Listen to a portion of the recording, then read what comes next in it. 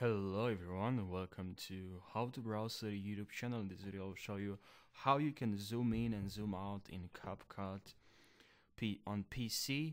So let's jump right into the video without wasting any second. And if you're new to my YouTube channel, don't forget to subscribe for more tutorials, for daily tutorials. And now what you have to do just drag the video import a video and drag it into the timeline and here when you select the video when you click on the video you'll get here a new properties kind of panel and from here we can change a lot and we can play with a lot of settings.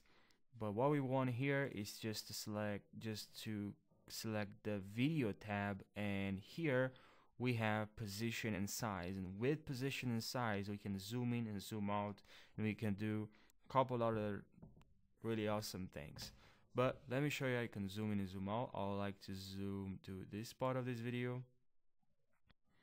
Okay so let's add the and I would like to I want the zoom to start right at the beginning of this video. So just enable I'll add here add keyframe. And the zoom will start right at the beginning of the video and the zoom I want to add a zoom right right here. So now just use scale and zoom in and now you can grab the image or the video and position where you want okay and now as you can see we have the zoom in. And now we wait a couple of seconds in this um, with this scale and then we zoom out. We after if I move the video as you can see we added a new keyframe.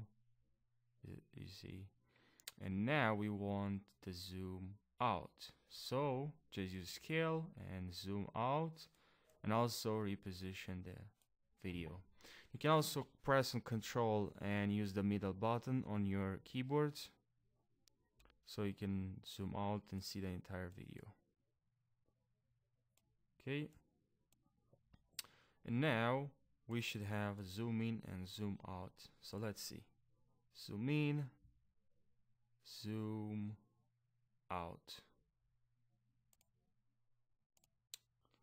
If we delete this if you want to delete the keyframe you can go to the keyframe and you can also click on here to uncheck or you can also click on it and cut.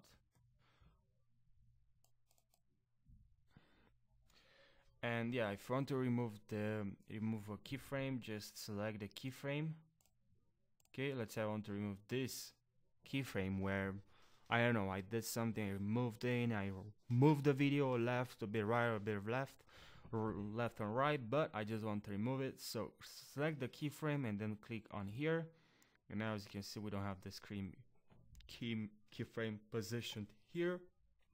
So that's how you zoom in, zoom out in CapCut PC. I hope you found this tutorial helpful and if this video helped you out, don't forget to subscribe for daily tutorials and like this video. I'll see you now in the next tutorial. Take care.